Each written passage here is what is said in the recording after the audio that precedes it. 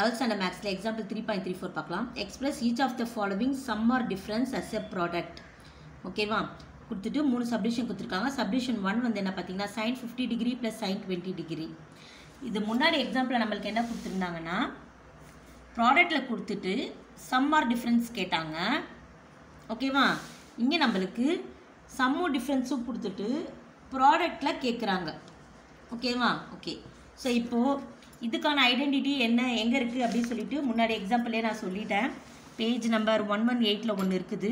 Sine C plus sine D அடுத்தது one one நைனில் மேலே மூணு இருக்குது சைன் சி மைனஸ் டினா எப்படி எழுதணும்?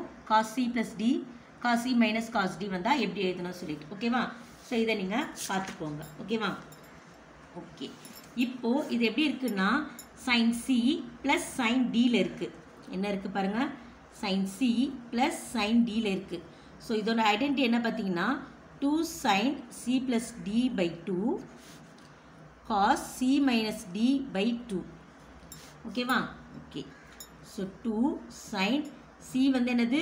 சி ஃபிஃப்டி டி வந்து டுவெண்ட்டி ரெண்டுத்தையும் ஆட் பண்ண என்ன வரும் பார்த்தீங்கன்னா செவன்ட்டி வரும்.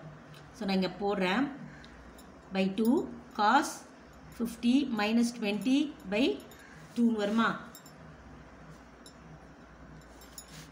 ஓகே இப்போ இது என்ன ஆக பாருங்கள் டூ சைன் இது என்ன seventy degree by two cos thirty degree by டூன்னு வரும்.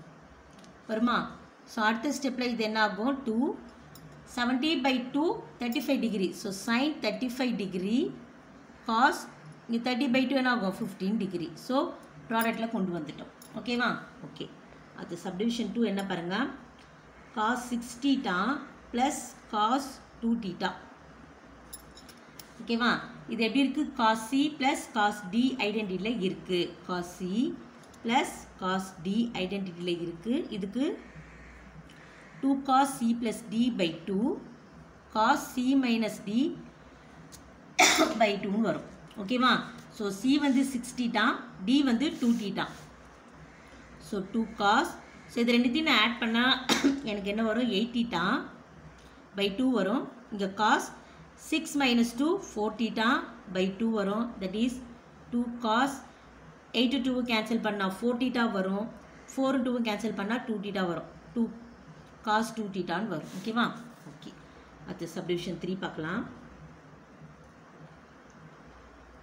Cos three x by two minus cos nine x by two இது என்ன இருக்குது காஸ் சி மைனஸ் காஸ் டியில் இருக்குது காஸ் சி மைனஸ் காஸ் டியில் இருக்குது இதுக்கு two sine C plus D by two sine D minus C by two ஓகேவா okay இப்போ